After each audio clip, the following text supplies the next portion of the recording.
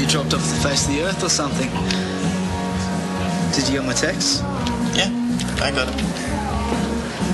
Is this because the party got out of hand? Well, that's why I was trying to call you to say I was sorry. It's not just about the gate crashes. You bailed on me. You just took off and left me there. I didn't know how to hold your hand the whole night. I'm not talking about that, okay? I ended up in hospital, and you didn't even know. Are you okay? Yeah, I'm great. No thanks to you.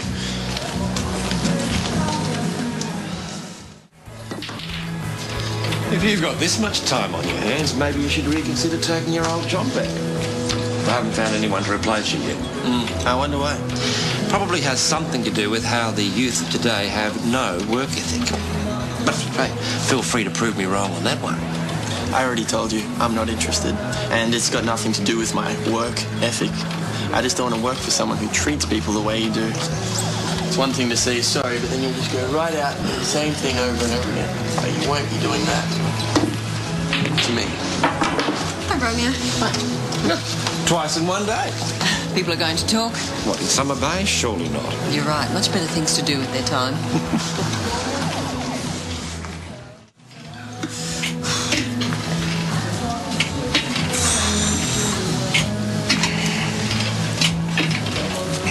So what's the deal with your mum and John Palmer?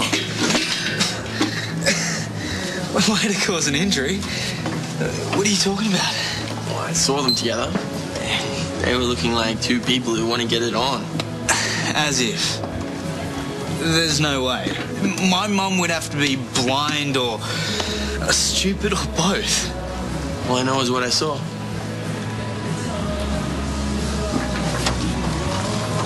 Do you know anything about this? Uh, what, mate? Is mum getting it on with John Palmer? You know what? Don't say anything. It's written all over your face.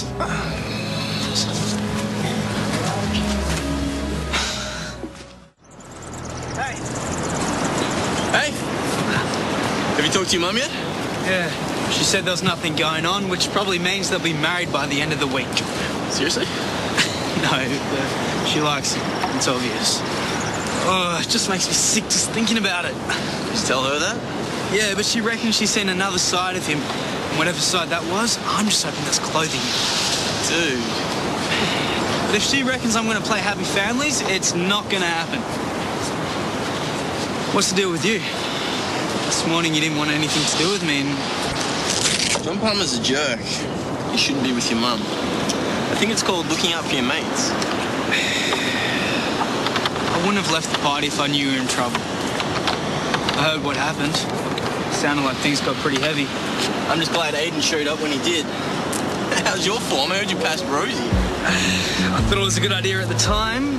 Yeah, the next morning, not so much? Going for two girls who are best friends probably wasn't the smartest idea. Yeah, a death wish, I think, are two words you're looking for there. Considering I'm not into either of them, then yeah, I think you might be right. You are an idiot, too.